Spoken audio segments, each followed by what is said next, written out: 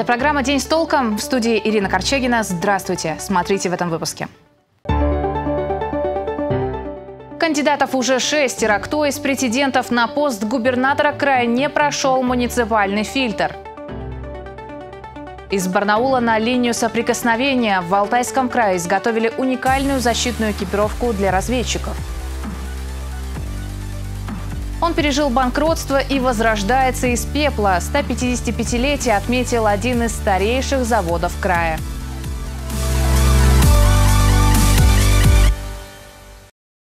Один человек погиб, семеро пострадали, в том числе ребенок. В Чемальском районе Республики Алтай произошло серьезное ДТП.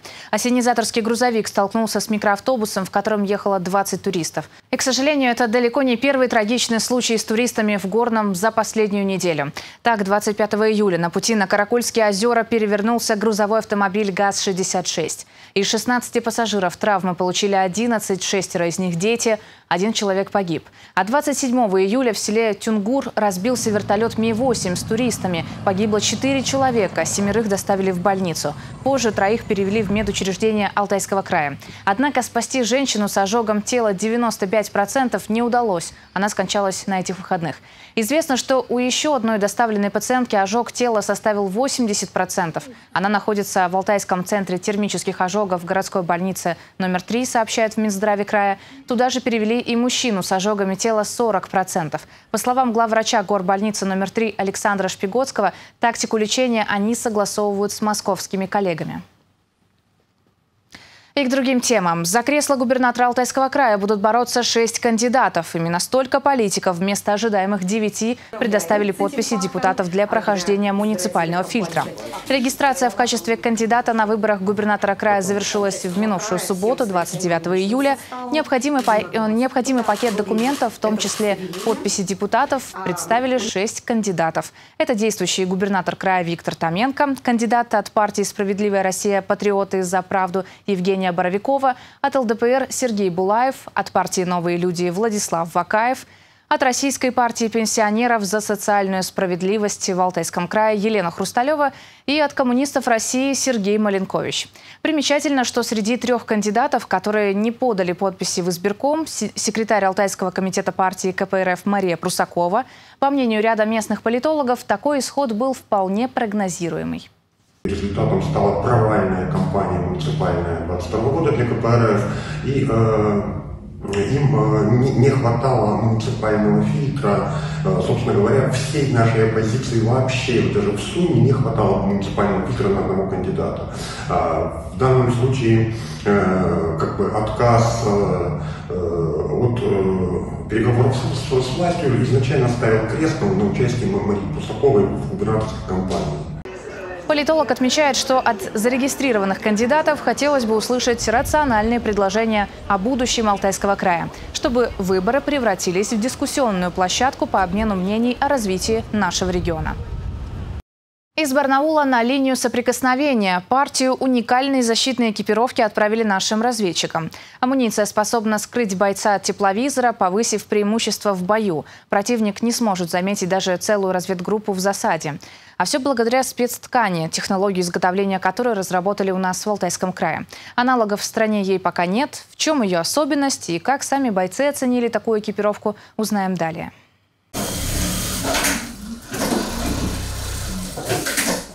Почти год разработок, перешивов и испытаний. И все, чтобы укрыть бойца от врага. Форму-невидимку разработали на барнаульском предприятии НТО «Лазер». Она экранирует инфракрасный свет и делает бойца практически незаметным для тепловизора. В составе несколько слоев особых материалов и пропитки. Реализация идеи потребовала серьезных усилий. Разработчики купили высокоточный тепловизор и сами тестировали костюмы в лесу и на полигонах. Добивались того, чтобы он был легкий, не жаркий чтобы он вообще не грелся. Его не видно будет через тепловизор, который установлен хоть на прицеле снайперском, либо на беспилотнике, либо на дроне.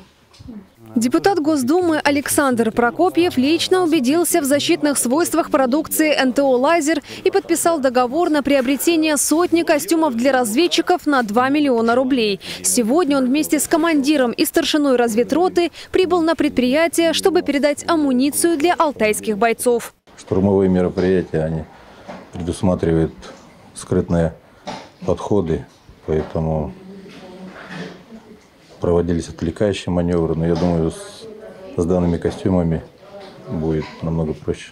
Сначала была пончо с капюшоном, потом придумали гамаши, чтобы боец не оставлял тепловой след. Сейчас это полный комплект – штаны, верх, перчатки. Пончо можно использовать как палатку или накидку на технику. Также материал хорошо сохраняет тепло и защищает от морозов. Сейчас предприятие разработало летний вариант. В нем будет не так жарко. И что очень важно, материал бесшумный. Ну, действительно, существует расхожее мнение, что русские изобретательны, умны, но свою идею довести до реализации не способны.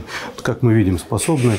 И уже сейчас научно-техническое объединение «Лазер» и производит, и передает на свои защитные костюмы нашей армии. И я хочу выразить искреннюю благодарность и авторам изобретения, и тем, кто тестировал эти костюмы. Пока эти костюмы выпускаются небольшими партиями и доставляются на передовую через благотворителей и волонтерские организации. Но предприятие уже получило сертификат Минобороны РФ, что позволит расширить производство до 10 тысяч штук в месяц, а также создать большие накидки на танки и другую технику. На мой взгляд, э, то, что мы делаем, э, на самом деле спасает жизни, спасает здоровье и может каким-то образом влиять на результат к которому мы идем. Ну, то есть непосредственно на результаты своего. Мария Мацева, Дмитрий Денисов. День с толком. Алтайская машиностроительная продукция покоряет Индию. Сегодня в Азиатскую республику отправился первый фотосепаратор местного производства. Такая установка позволяет очищать от примесей до 10 тонн сыпучих продуктов в час и потому весьма востребована на мировом сельхозрынке. Так, наши фотосепараторы сегодня покупают три десятка стран. Завод, где их производят, на днях посетил губернатор края Виктор Томенко. Он пообщался с коллективом, узнал о дальнейших планах завода и о том, в какой помощи он нуждается. Подробнее в сюжете сюжете.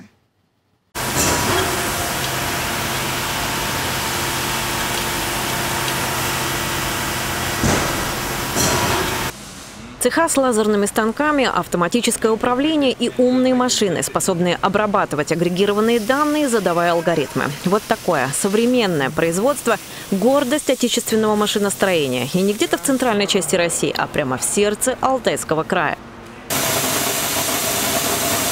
Компания «Сисорт» свою продукцию, фотосепараторы, до сегодняшнего дня поставляла в 29 стран. Для этого завод отстоял себя в жесткой конкурентной борьбе как на европейском, так и на азиатском рынках. И вот очередное расширение географии поставок. Индия.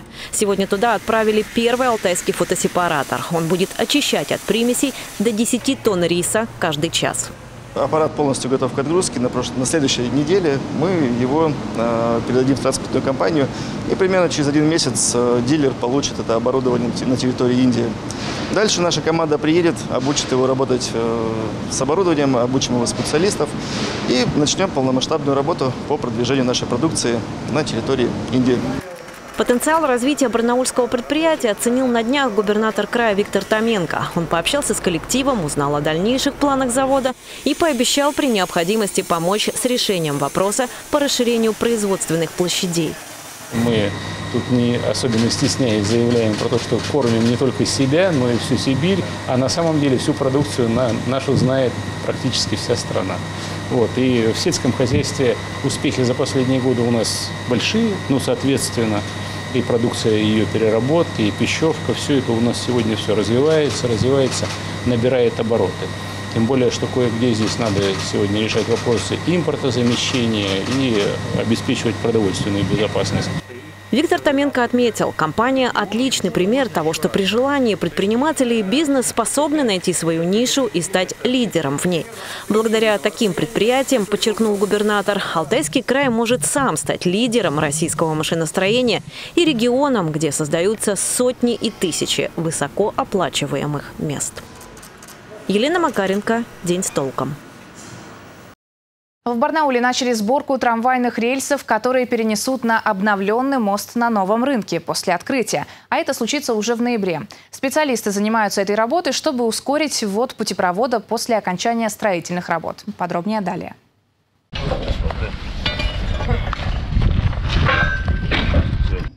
Над вводом отремонтированного путепровода на новом рынке работают не только строители. Это специалисты гор электротранса. Прямо сейчас, в конце июля, они приступили к сборке рельсов, по которым будут ездить трамваи на обновленном мосту. Это делают для того, чтобы максимально ускорить запуск движения на путепроводе. Мы сейчас комплектуем звенья для того, чтобы обыграть время. Когда будет готов путепровод, у нас уже к этому времени должны подготовлены звенья по рельсо-шпальной решетке. Напомним, в апреле этого года на Гор Электротранс поступило более двух километров рельсов марки ТВ-62 для изготовления новой трамвайной линии. Их приобрел подрядчик Барнаульская ДСУ номер 4. Саму сборку начали недавно, а завершить ее планируют уже в августе. Затем готовые конструкции доставят на объект и начнут укладку. Мы должны собрать порядка 70 звеньев. Значит, материал основной на базу завезен. На сегодняшний день 20 э, человек работают задействованы на предприятии. К этому моменту рабочие смонтировали на мосту первую 48-метровую балку пролета между третьей и четвертой опорами. Для того, чтобы установить огромную конструкцию, использовались два крана. А чтобы завершить сборку пролета между третьей и четвертой опорами, нужно смонтировать еще пять таких балок. Это планируют сделать за месяц с небольшим. По словам подрядчика, работы идут по графику. После окончания реконструкции на путепроводе будет по три полосы в обе сторону, две трамвайные линии и широкие пешеходные тротуары. Дмитрий Дроздов, День с толком. Иткульский спиртзавод организовал праздник в родном селе и наградил своих лучших сотрудников. Мероприятие приурочено к юбилею старейшего завода 155-летию. Полтора века на масштабном предприятии свято чтут традиции и технологию производства солдового спирта и напитков на его основе. Подробнее о градообразующем предприятии расскажет Валентина Аскерова.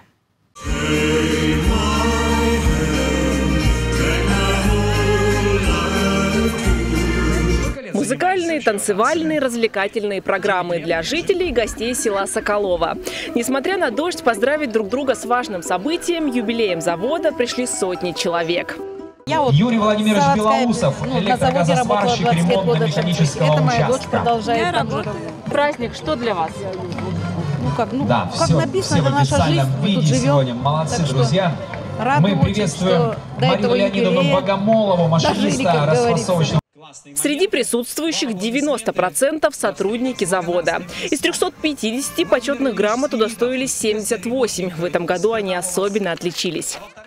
Друзья, прошу на сцену главного инженера предприятия. Они лучше по производительности, они лучше по профессии, они лучше э, в работе, в отдыхе, во всем, как бы они кто-то работает дольше, кто-то меньше, кто-то активнее, но это люди, которые достойны сегодня, чтобы их почествовали. Эмоции, конечно, только положительные. Церемония я рада, что я работаю Еленой на таком предприятии.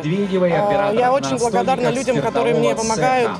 А, меня наградили за хороший труд, я думаю. И надеюсь, что наше предприятие будет процветать. Праздник посетил специальный гость, начальник алтайской пищевой промышленности. Он поблагодарил руководство завода за то, что им после банкротства в 2019 году удалось вернуть предприятие на нужные рельсы. 155 лет – это на самом деле большая дата, это история, это э, традиции, которые на предприятии сохранились э, с момента открытия. Это э, династии работников, которые работают на протяжении ну, почти всей своей жизни.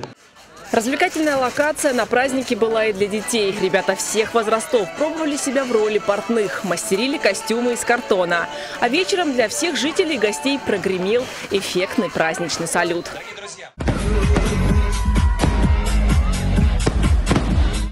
Такую разнообразную программу подарило руководство своим сотрудникам, которые за дня в день производят солодовый спирт, причем по старинной дедовской технологии, путем проращивания зерна. Мы используем комплекс ферментов, которые получаем из пророченного ячменя, пророченного проса, и далее, э, смешивая это дробленое зерно с водой, получаем солодовое молочко. Тем самым это гарантированно натуральный, экологически чистый, честный продукт, который получен без какой-либо химической, добавок химических каких-то компонентов. Сегодня сотрудники завода производят почти 800 тысяч декалитров спирта и 400 тысяч декалитров водки. Продукция, проверенная столетиями, пользуется спросом у россиян, у жителей ближнего и дальнего зарубежья. Валентина Аскерова, Андрей Сигаев. День с толком. Якутия, Ханты-Мансийск, Томск, Новосибирск, Барнаул. Представители такой обширной географии встретились в одном месте, в одном из сел Алтайского края, Киприна. Людей объединило одно – любовь к сыру и желание получить гастрономическое удовольствие на фестивале «Как сыр в масле». Как прошел праздник вкуса, расскажем далее. За гастрономическим удовольствием в эти выходные ехали в Киприно. Уже второй год местный фестиваль «Как сыр в масле» собирает тысячи человек со всей Сибири. Для них организаторы готовят самые отборные вкусы. Так и в этот раз гостям представили твердые, рассольные, мягкие, плавленые, копченые и даже авторские сыры. Я надеюсь, что здесь вкуснее, свежее, по крайней мере. Скажите, откуда приехали? Из Барнаула. А ребятишки с Хорошо, все понравилось. Ксюша, ты готова зажигать? Зачем вообще приехали? Тогда внимание. Давай, все интересно, очень интересно. В такую даль сюда притащили. А куда деваться сыру? Сыру хочется. Кто-то приехал любопытство ради, а кто-то целенаправленно сравнивал. Искушенные гости придирчиво подходили к фестивальному меню. Я попробовала сливочный, маздам и брынза. Да. Своеобразный вкус соответствует, все мне прям очень понравилось. Отличается вот от магазинного? А, есть отличия, я нашла. А поделитесь ну, вот такими вкусовыми своими. Ну, понимаете, а оно здесь э, как-то более выраженный вкус. Вот в магазине берешь, он вроде есть вкус, но не так выражен. А вот здесь мне больше понравилось. На Алтае проводят немало гастрономических фестивалей. Наш регион славится вкусовым разнообразием, в том числе и сырным. К слову, наш край входит в топ регионов по производству сыра и сырной продукции. Мы сегодня занимаем второе место в Российской Федерации по производству, поэтому, э, в принципе, ежегодно мы вырабатываем э, около 100 тысяч тонн сыра и сырных продуктов, поэтому э, этот уровень из года в год, он либо одинаковый, либо чуть-чуть превышает прошлогодний уровень. Мы сегодня до 80% сыра вывозим за пределы края, то есть реализовывают по всей Российской Федерации. Немалый вклад в производство сыра делает и местный завод села Киприна. В 22 году здесь разработали козий сыр, а в этом работают над созданием медового. Какая-то изюминка есть у кипринского сыра? Изюминка всегда есть, и мы над этим работаем. Э, ежегодно мы разрабатываем новые виды сыра, мы не боимся экспериментировать, и у нас это получается. Для Шилоболихинского района сырный фестиваль – одно из ключевых мероприятий года. Через него о территории узнают и в крае, и даже в Сибири. Одна, наверное, из основных целей – это все-таки привлечь внимание к району нашему. Да, он красивый, он перспективный, он развивается, расцветает. И вот такой формат фестиваля с привлечением большого количества производителей, я думаю, что только усилит интерес к району. Да? Гастрономическая форма проведения, она сейчас на волне. Мы сегодня определим э, вкус нашего фестиваля, какой он будет. Э, российский, голландский, швейцарский.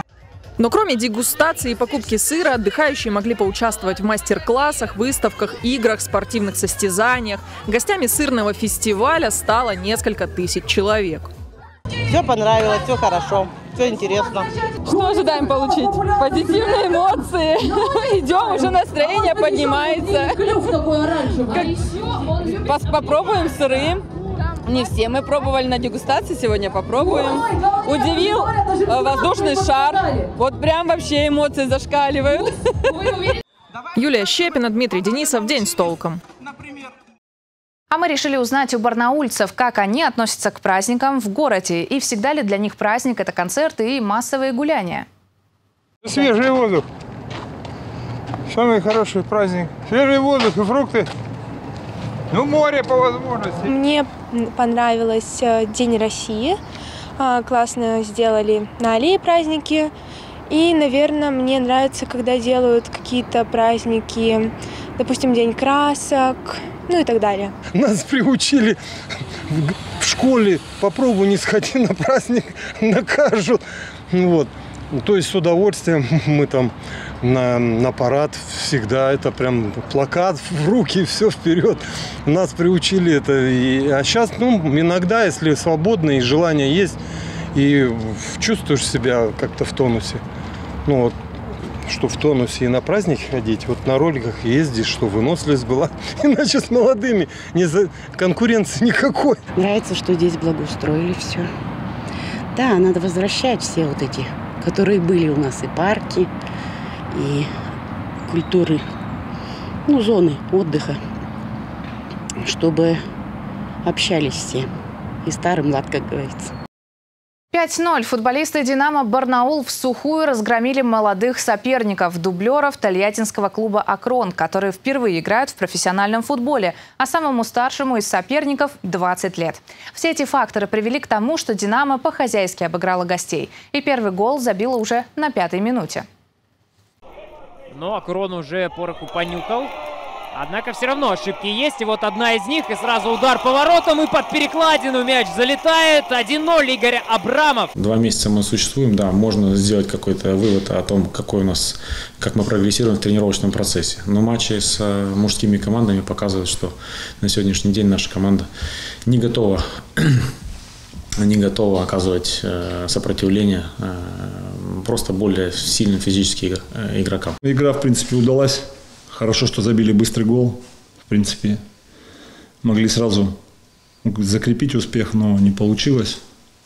В принципе, много удалось, но и много видно, что еще над чем есть нам работать.